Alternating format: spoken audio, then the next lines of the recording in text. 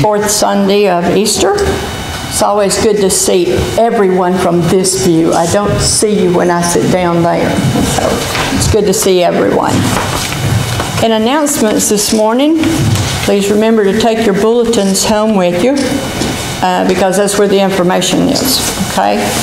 Uh, In the bulletin, you'll notice the North Georgia Conference, the uh, general conference information. Uh, Take that home and read it. If you have questions, please see Pastor Emmie. Um, That's for our information, and it's good information to have. Um, A thank you from the UMM. Yesterday was the yard sale, and all who participated and helped, those who donated or whatever, thank you, thank you, and the men, thank you. And it made pretty well, so.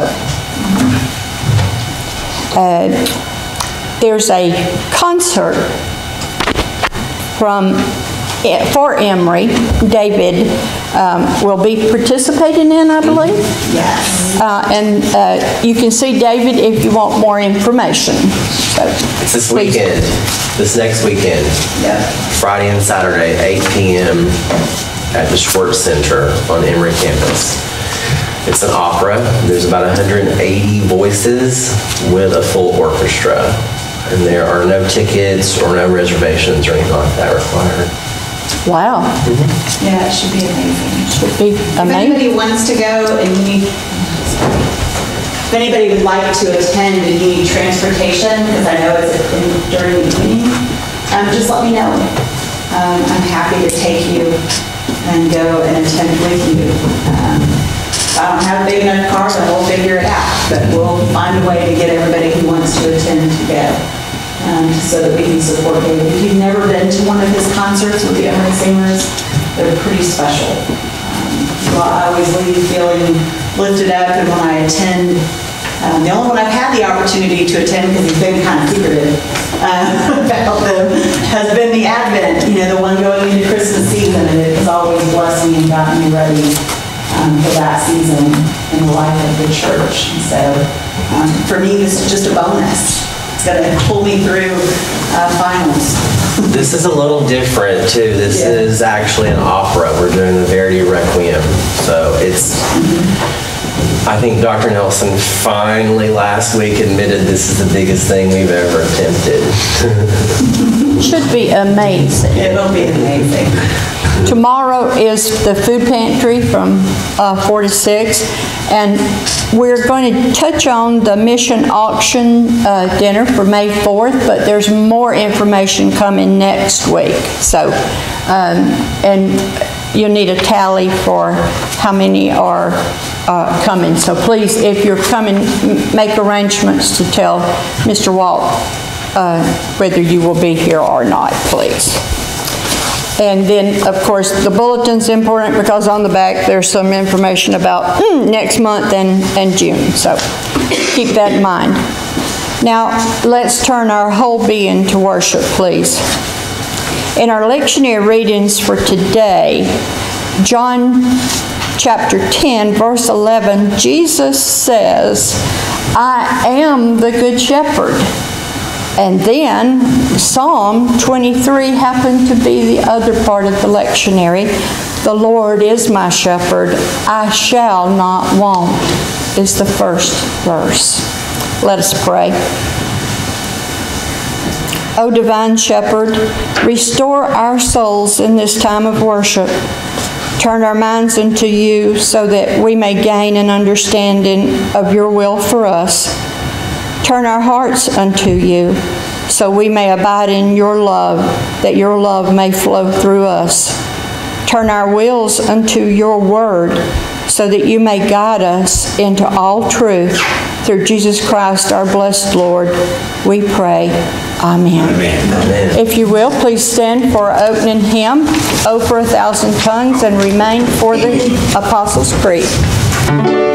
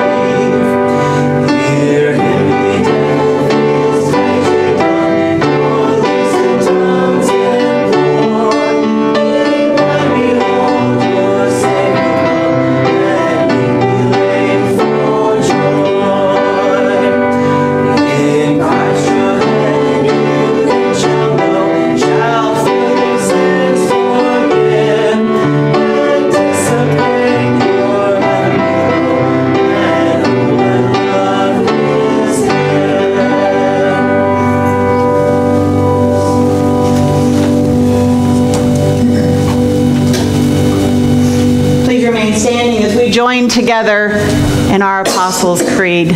Church family, what is it that we believe? I believe in God the Father Almighty, maker of heaven and earth, and in Jesus Christ, his only Son, our Lord, who was conceived by the Holy Spirit, born of the Virgin Mary, suffered under Pontius Pilate, was crucified, dead, and buried. The third day he rose from the dead. He ascended into heaven and sitteth at the right hand of God the Father Almighty. From hence he shall come to judge the quick and the dead. I believe in the Holy Spirit, the holy Catholic Church, the communion of saints, the forgiveness of sins, the resurrection of the body, and the life everlasting. Amen. Please be seated. Well, it's been a week of ups and downs, hasn't it? But it's all good. It's all good because God is so good, isn't He? He has walked every step this week with each of us. The Holy Spirit is here. The Holy Spirit fills this place. And He is here and He wants us to worship with Him. So let's do that. Each week I ask the question, where have you seen God at work this week? So, God was Tremendous. tremendous. Anybody else? I was gonna say great, but tremendous. Tremendous kind of knocks it out of the park, doesn't it? I mean, That's a good- kind of hard to beat that. But God is tremendous. I'm thankful for the good weather that we had yesterday for the men's group. The first year that I was here, they joked with me and said that was my responsibility. And I was like, "Oh, yeah, they're back there going, yeah. So I do. I start praying about good weather for that weekend. Um, and I was thankful because it wasn't overly hot. Um, it was warm. Um, but we had a great time. And so I am thankful for community um, and the time that we were able to spend together and the time that I was able to share um, with people in the community as well as with some people in our congregation. So that takes us to the second question. What are we thankful for? I've already told you what I'm thankful for. I'm thankful for this church and for our community. What are you thankful for and what can you be thankful for that happened this week? For all the little details that I don't pay attention to sometime. Mm. I'm grateful that God keeps up with me. Yeah.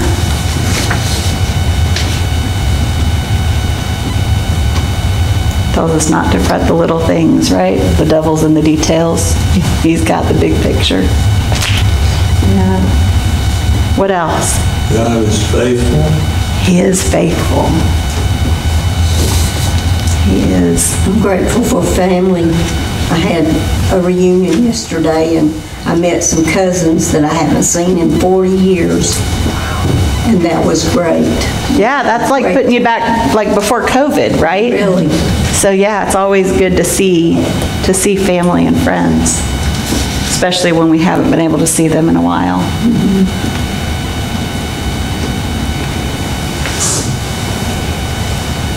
So as we prepare for our time for prayer this morning, I just want to remind you of a couple things. Last week, we took a moment and we prayed over Jackie um, Reed as she prepares for surgery on Wednesday. And I just ask that you continue to lift her up this week. Um, I will be joining them Wednesday morning um, at 5:30 at the hospital, and I'll stay as long as Jerry wants me there. Um, I'm always here to serve you. And so I, I want to make sure that you guys hear that. You know, a lot of times I get a call and I know you're busy, but look, I'm never too busy for this church family. Um, you guys are special to me. I need you to hear that. I need you to know that. Um, that's why I always give David a hard time about not telling us about his concert. So I was Forget. I was really glad when that email came through. So, yeah, I was really happy that we were able to get it in the bulletin today so I wouldn't forget. I also want to remind you that the altar is open. It's open throughout the service. It's not just now. Um, If at any time you feel led or compelled to come to the altar, it's yours. This is your time with our God. And I say our God because he belongs to all of us, because we are his children. But our relationship with him is special. And this is a time that we set aside to be with him. So let us pray. As we gather before you today, we come with hearts open to receive your word and your truth. We are reminded of the profound, lo- the profound love that you have shown us through your Son, Jesus Christ. Lord, we thank you for the ultimate act of love in his sacrifice. And it serves as the foundation of our faith and the guiding light for our lives. Father, we confess that we often fall short in our practice of love. We acknowledge the times when our hearts have been closed to those in need and when we have failed to extend compassion and care to those around us. Forgive us, Lord. Forgive us for our, sh- our, for our shortcomings and help us to grow in our capacity to love one another as you loved us. Grant us, God, the courage to examine our hearts honestly and root out any traces of hatred or indifference within us.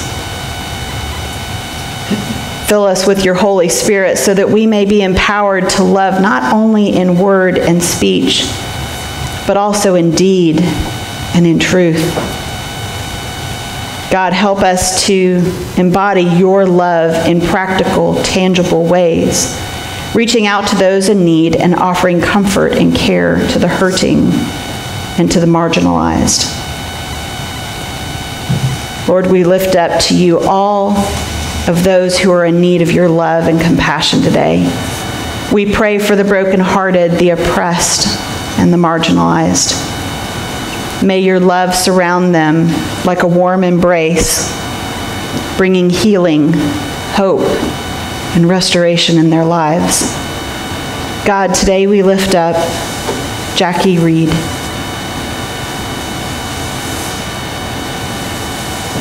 Doris Fowler, Artie Lawrence, Earl Odell, Sylvia Capps. The Bartlett family.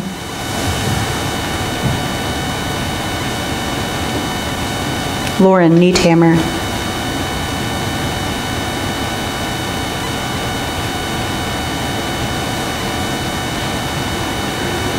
Finally, Lord, we ask for your guidance and strength as we seek to grow in our practice of love. Help us to follow the example of your Son, Jesus Christ, who showed us what it means to love sacrificially and selflessly. May our lives be a reflection of your love, shining brightly in a world that desperately needs your grace and your mercy. We offer up this prayer in the name of Jesus Christ, our Lord and resurrected Savior, who taught us to pray, saying, Our Father, who art in heaven, hallowed be thy name. Thy kingdom come, thy will be done, on earth as it is in heaven. Give us this day our daily bread, and forgive us our trespasses, as we forgive those who trespass against us. And lead us not into temptation, but deliver us from evil. For thine is the kingdom, and the power, and the glory forever. Amen.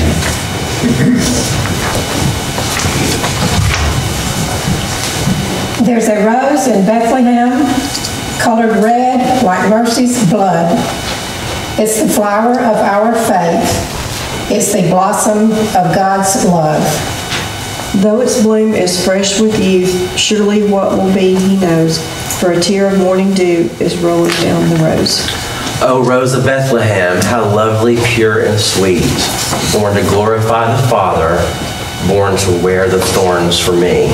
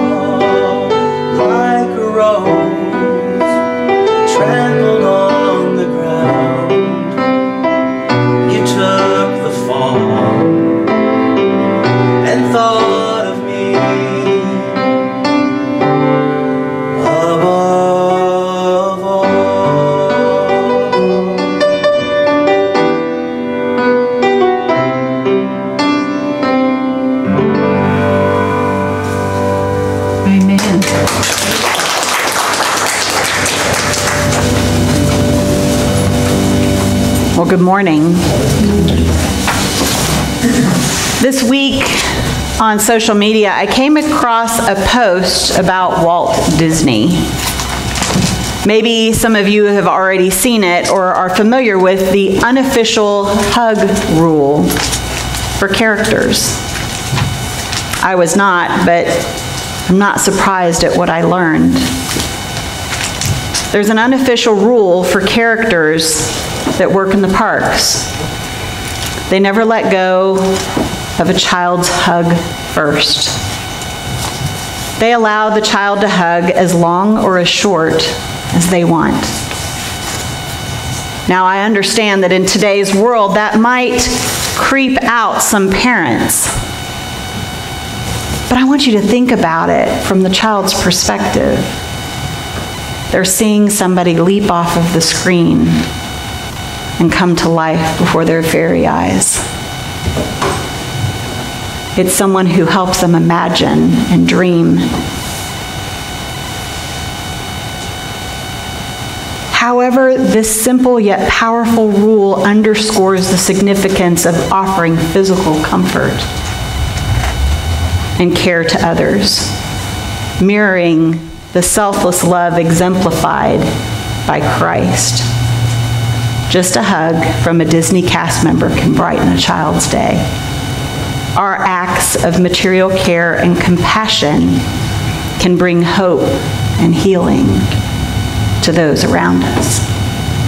Our scripture lesson today comes from oh comes from 1 John 3 we'll look at verses 16 through 24. Let us hear the word of God. We know, love by this, that he laid down his life for us. We ought to lay down our lives for one another.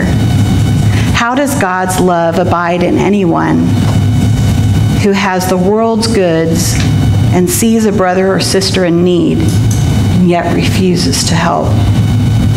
Little children, let us love not in word or speech, but in truth and action. And by this we will know that we are from the truth, and we will reassure our hearts before Him. However, whenever our hearts condemn us, for God is greater than our hearts, and He knows everything. Beloved, if our hearts do not condemn us, we have boldness before God and we receive from him whatever we ask because we obey his commandments and do what pleases him. And this is his commandment that we should believe in the name of the Son, Jesus Christ, and love one another just as he commanded us. All who obey this commandment abide in him, and he abides in them. And by this we know that he abides in us by the Spirit that he has given us. This is the word of God for the people of God. Thanks, Thanks be to God. This week's text can be broken into two sections. The first is verses 11 through 17 it defines the sort of love that Christians should have for their brothers and sisters in Christ. The second half of the scripture, verses 18 through 24, give us some assurance in the midst of our shortcomings in love, as well as help us to understand the link between belief and love. John begins this section by declaring that this command to love is what we have heard from the very beginning. This statement from the beginning makes us look back to the opening line of the epistle where John declares what was from the beginning was a person of Jesus Christ. This message of love, then, is tied tightly to the work and the person of Jesus. John may be referring to Jesus' words in the gospel. In John 13, 34, he says, A new commandment I give you love one another. As such, the command to love spoken of here is really nothing new, is it?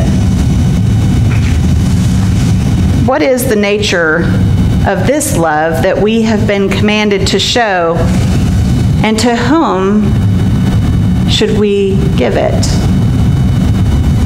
Most commentators believe that John is referring to the love of one's Christian brothers and sisters.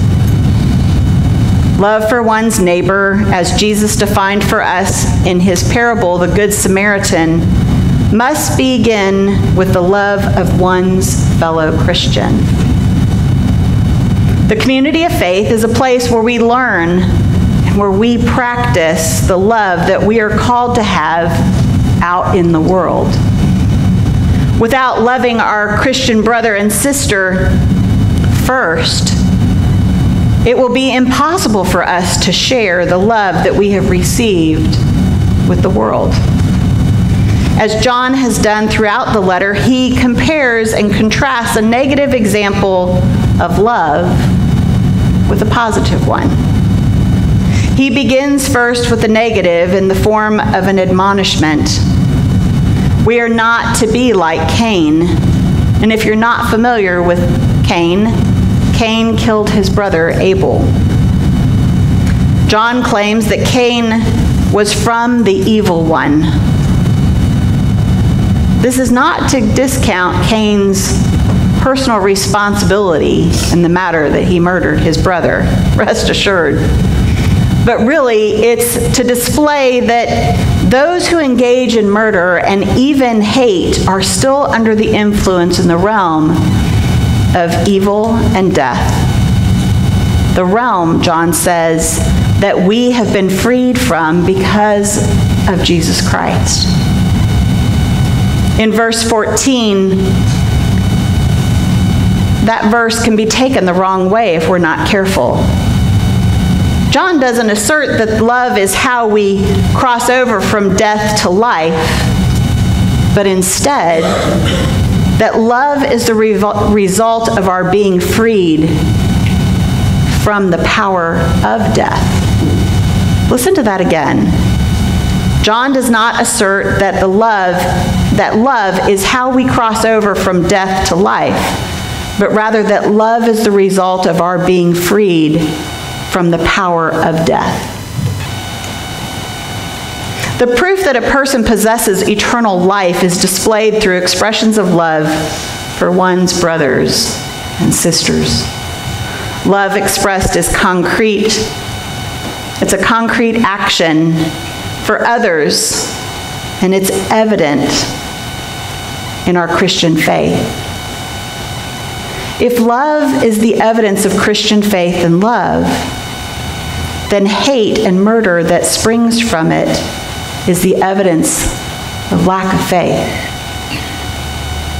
Most, if not all of us, are not or will not become murder, murderers, thank goodness, right? I would hate to think that whatever percentage of us would, would fall into that. John's description, however, should not fail to convict us and call us to examine our inner thoughts. Our inner thoughts towards our Christian brothers and sisters, not to mention the world at large. Something as simple as hate can derail our Christian faith. Hatred is the wish that another person was not there. It is the denial of a person's right to live in full connection within a community.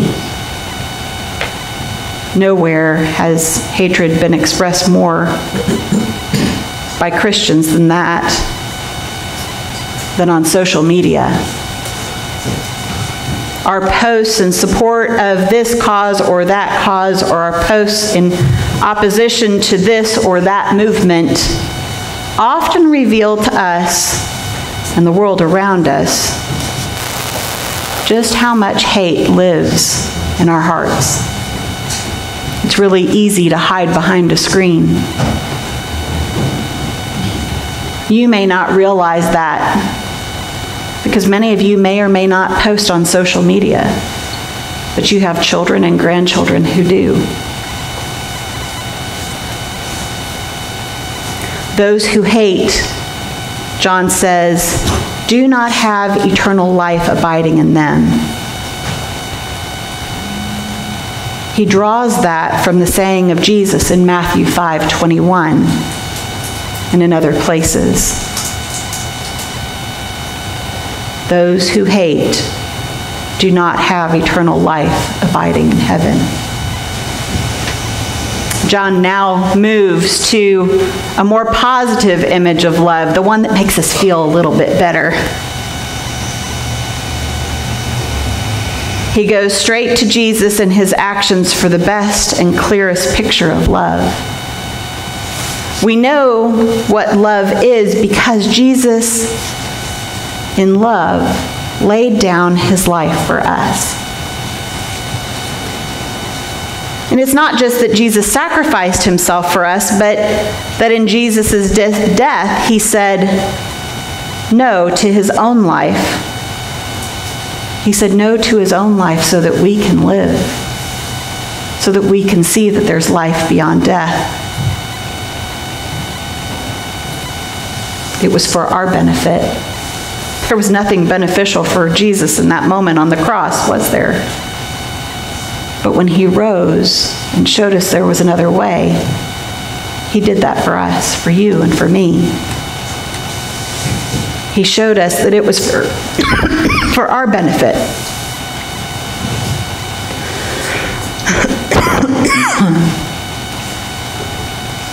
Love that does not work for the benefit of the other. It's not love.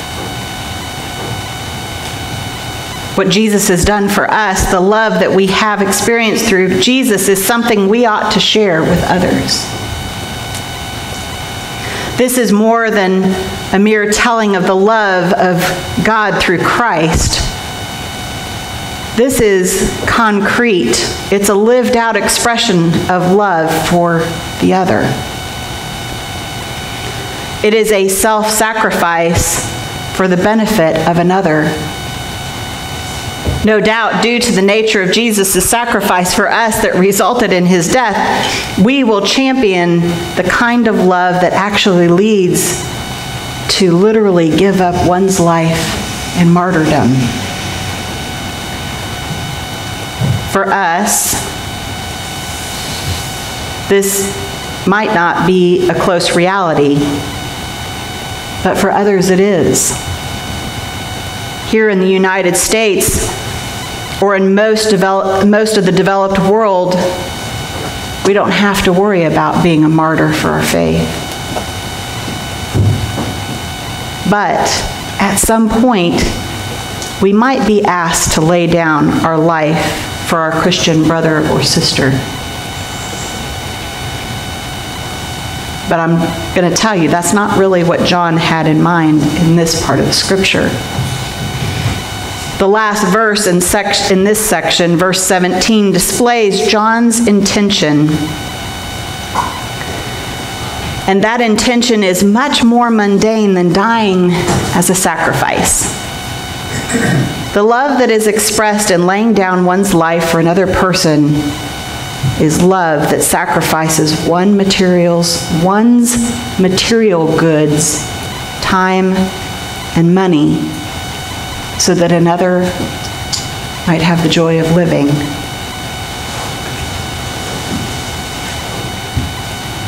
We see that when we give of our time selfishly with nothing in return.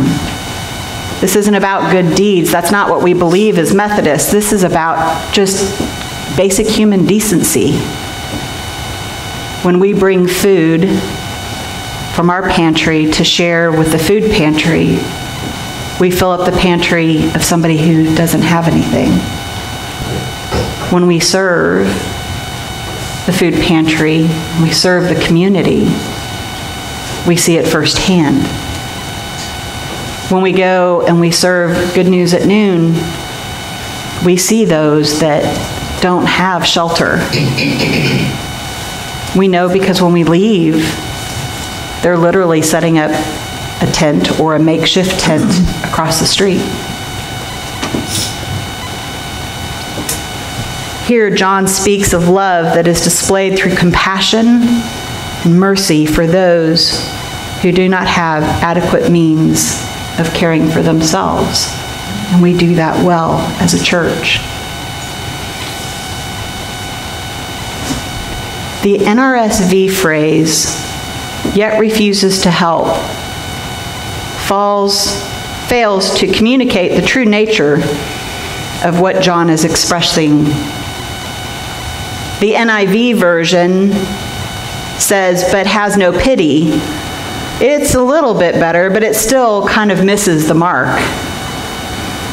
What these two translations render as refuses or no pity comes from the Greek phrase that means to close the bowels. The intestines were regarded as the seat of emotion and compassion when Jesus walked the earth. The intestines were regarded as the seat of those emotions. And when we close off one's intestines, or when we close off our intestines, it means we do it as a shield. We do it to shield our inner self from the suffering and want that takes place around us. The language is active in nature. This intentionally shields us from the very real physical reaction that takes place when we see someone in need and we refuse to help. Or maybe we don't take the time. Do you have that one opportunity where you were like, if I could go back and redo that one moment and make a difference in someone's life, man, I missed the mark on that. Do you have a moment like that? Do you have a memory like that?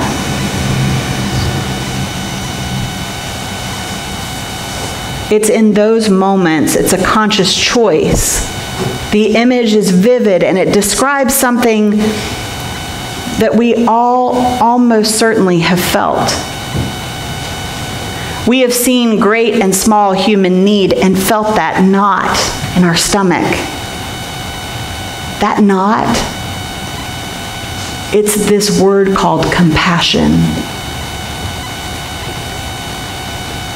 Yet at some time or another, we have all shut off our minds and our feelings, and we've gone on our own way.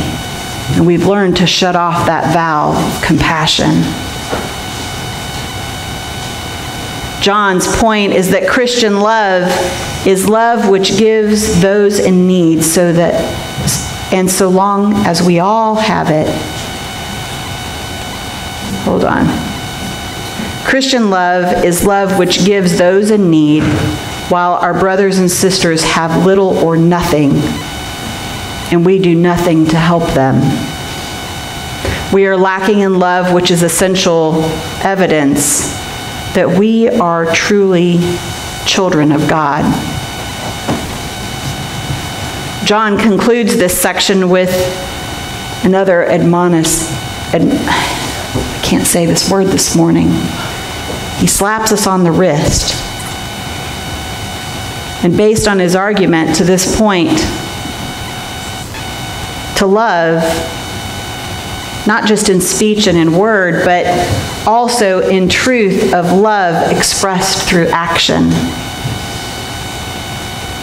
The question that John poses in verse 17 should stop to give us pause. We can have love of God truly remain in someone if they choose to turn from the needs of their brothers and sisters in Christ, can't we? While it's true that John is speaking about the love of the, that the members of the community of faith have for one another, this community is the place where we practice our love for the world at large. If we can't love one another in these four walls, how in the world are we expected to go out and love people in a community or love people that we don't even know? If we cannot seriously take care of one another, we will not be able to exercise our love for the world. And if we can't exercise our love for the world, then we fail. We fail to be the body of Christ. The physical hand and feet of God in our world.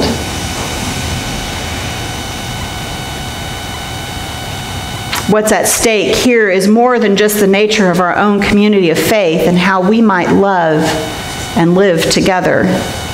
It is the very nature of our witness to the larger world. If we are to take seriously the call to bear witness to the kingdom of God, then we must intentionally and tangibly express our love for our Christian brothers and sisters so that we can better express our love to those in need in our community. I'm happy to say this church does an exceptional job of loving one another. We have food trains. We have people calling and just touching, point, touching base and checking on one another to make sure that everything is okay. You guys are on autopilot. I joke, I'm usually the last one to know about anything that's going on in the life of the church because you guys handle it so beautifully. So, my question is how do we take the next step? If we come here to fill up, how do we go out and where do we go to pour out all the love that we receive when we're here? Because that's what we should be doing. We should go out into the world and pour all of our love out and let it just exude from us. And then we should come back here and refill. This is a hospital for our spirit so that we can feel alive and learn to love and replenish I always tell my friends there's a time where we sit in the pews to recharge. And there's a time when we go out into the world to give fully. We take our tank full from here and we go out and we run it right until we get down to about an eighth, eighth of a tank. And then we should be able to come back and refill again. What are you doing to make sure that your tank isn't always sitting on full? How are you reaching out into the community or family members that don't sit here in this house with us in the church?